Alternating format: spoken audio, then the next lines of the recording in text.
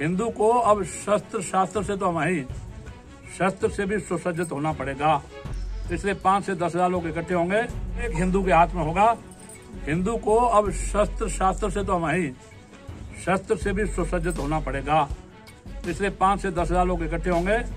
लेकिन मैंने ये भी हिदायत दी है कि हम लोग अहम में आके भीड़ को देख के भीड़ तंत्र में मोह मेंटलिटी मोह वातावरण न बनाए।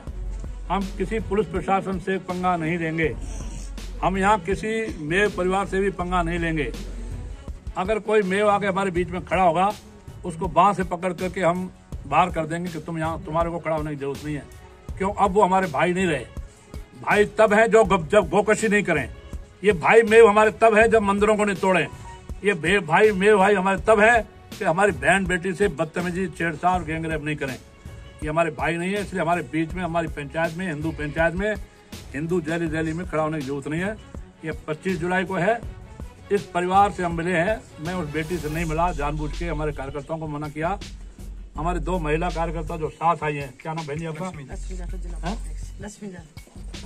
और? दोनों का नाम आपने सुन लिया। इन दोनों ने उस बेटी से बेटी की माँ से बात की है। ये मामला का एंड बहादुरपुर नाहर कला में नहीं है। ये पूरे रामगढ़ क्षेत्र में, पूरे मेवात में, राजस्थान या हरियाणा।